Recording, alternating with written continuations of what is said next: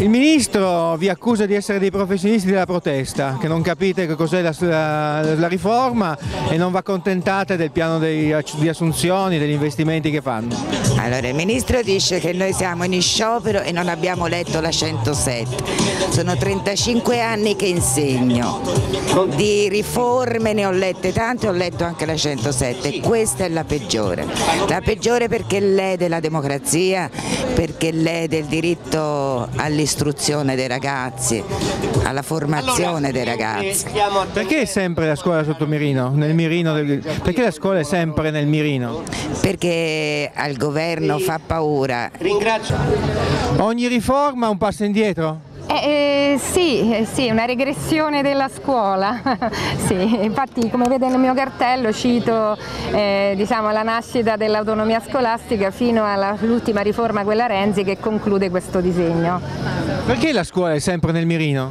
Perché la scuola è sempre mirino? Perché qualcuno la vuole sempre cambiare? Perché? Perché noi eh, è una, e forse era rimasto l'unico baluardo democratico in questa, eh, in questo paese e soprattutto un posto dove cambia le, è un posto che ancora si possono cambiare le teste dei, dei ragazzi, dei giovani, eh, in teste pensanti insomma, no? E forse era l'unico posto dove la mafia non, non poteva arrivare, c'era una trasparenza, le graduatorie, no? um, un posto trasparente no? dove poter essere assunti o fare supplenze e adesso viene meno anche questo insomma ecco.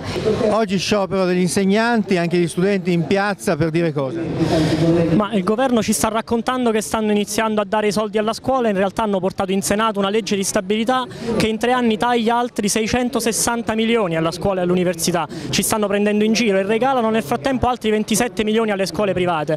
Continuano a dirci che i soldi non non ci sono, in realtà ci sono 2 miliardi e mezzo sempre stanziati nella legge di stabilità per comprare le navi da guerra, restano 13 miliardi stanziati per gli F-35, quest'anno l'Italia ha speso 70 miliardi soltanto per pagare gli interessi sul debito pubblico, ne spende altri 34 milioni per il quartier generale della Nato a Bruxelles, quindi non vengano a raccontarci che i soldi per la scuola non ci sono, è una questione di scelte, noi oggi chiediamo il ritiro immediato dei tagli e vogliamo che sia lo Stato che deve tornare a coprire i costi dell'istruzione.